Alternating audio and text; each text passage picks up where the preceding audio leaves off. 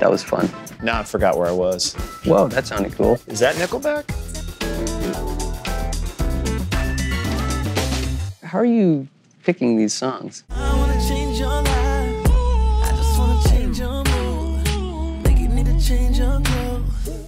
That's cool. Cool production.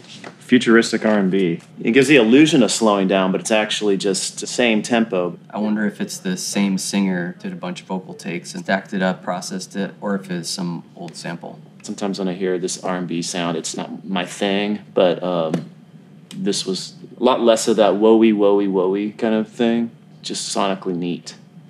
It's dvsn. Watch out for that.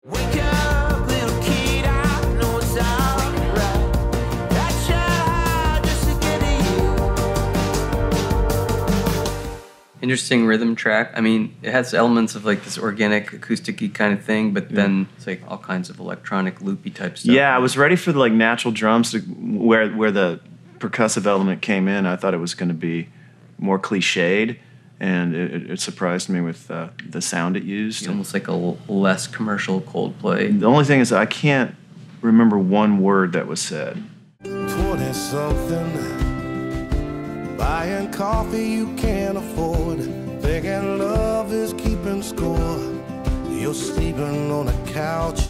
I think it sounds like that Selena Gomez song with Kygo. I was listening to the lyrics on this one. Okay. Yeah, it seemed very crafted in the lyrical sense. Every line had to make you think back, and that's an interesting thing. Sometimes, though, you don't want to think that much. I don't know. I'm from Tennessee, and I'm not as enthralled by Southern accents as people seem to be. It's- It's not as offensive as a lot of modern country.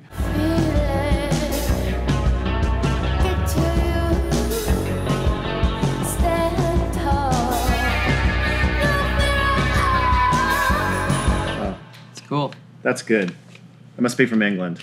Reminds me of The Cure a little Well, bit. yeah, awesome guitar stuff. Actually, I think our next record's gonna sound like that. It's great. Who is it? Because I got to get that. Makthaverskan. I'm gonna have to see that written out and write it down. I'm nervous to see this. Are you? No. Okay, good.